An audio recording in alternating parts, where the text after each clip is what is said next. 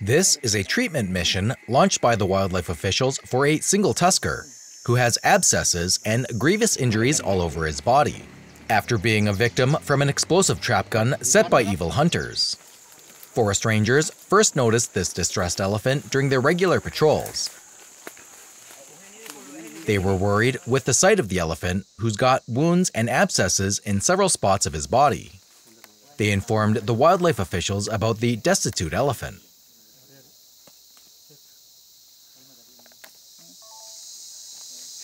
The officials from the Department of Wildlife Conservation arrived to the spot ASAP, armed with necessary medicines and equipment.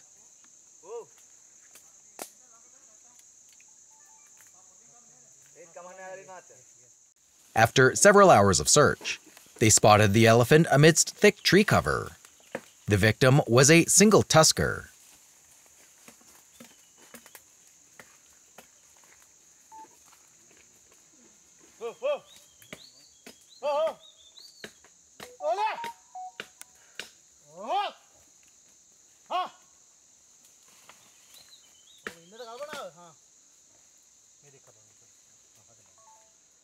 The poor elephant has got bullet wounds in several spots of his body.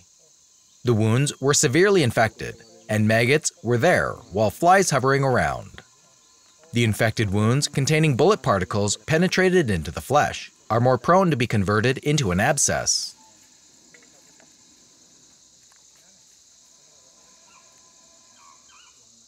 Because the wounds are infected, antibiotics were injected into the elephant to prevent the infection from being spread into the inner body parts.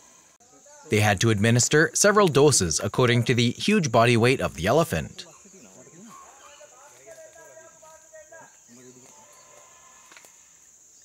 The elephant was a victim of a horrible trap gun set by evil hunters.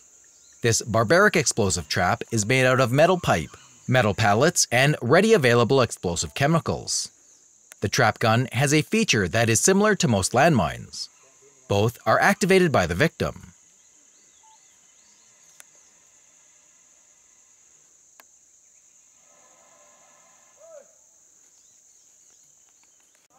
Victim-activated devices can never be used exclusively for only the intended target.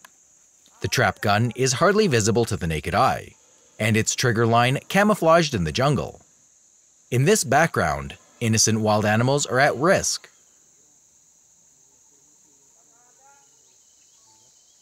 It is the indiscriminate nature of those devices that make victim-activated landmines and the trap gun so dangerous and vicious. Trap guns are frequently set along forest paths to kill animals such as sambar, axis deer, and wild boar.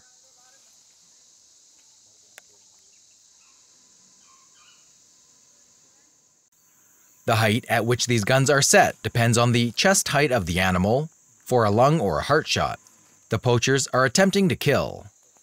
So almost all of these guns are set up at 3 feet or less height, with the lowest being for wild boar.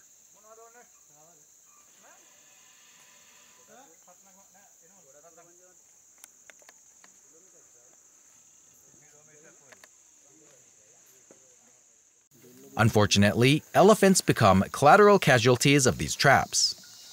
Trap guns typically inflict wounds on the lower extremities of elephants, generally on their limbs from the elbow and knee downward. Here, you can see an officer is removing the embedded bullet particles that are embedded in the flesh.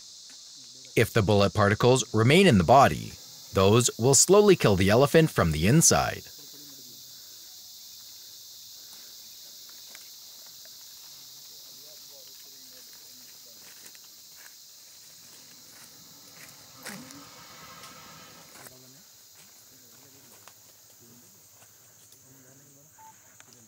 The team was happy that they could save the elephant's life from immediate danger by removing the bullet particles.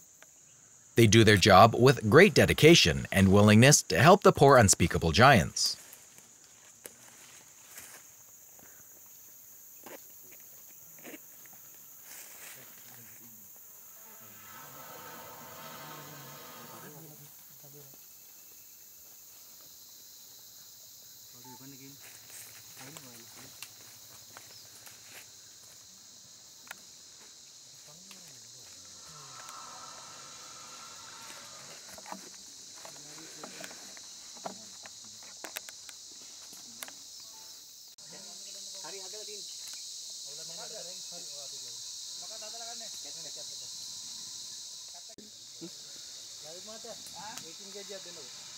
After removing the bullet particles, the wounds were treated with gentian violet. Elephants with such injuries when spotted should be treated swiftly to ensure they will not suffer unnecessarily. However, the challenge is the lack of field veterinary facilities to mobilize immediately when such elephants are encountered.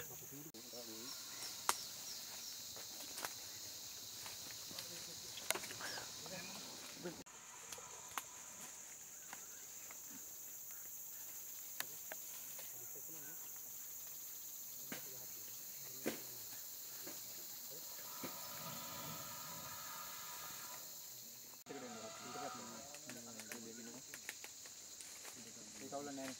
Ikaw ulan na, di ka tuwala yan na. Init pa.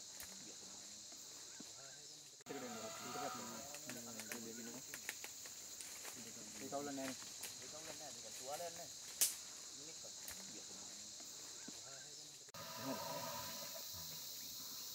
Ini tahu ulan na yan? Ulan na yan.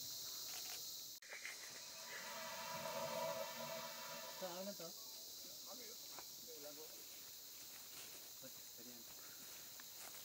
So tragically, most of these elephants go untreated. For those with grievous injuries, by the time an effort is made to treat them, it's too late. This victimized elephant was fortunate to found sympathetic people to treat him, and his life was saved from immediate danger by removing the bullet particles.